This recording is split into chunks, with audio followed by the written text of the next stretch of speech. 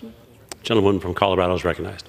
Thank you, Mr. Chair. I just want to reiter- reiterate quickly that this is fewer than 100 service members who have been targeted here, and that's only 0.005% of the approximately 2.1 million active and reserve personnel serving. Ultimately, wokeness uh, it, it weakens our military.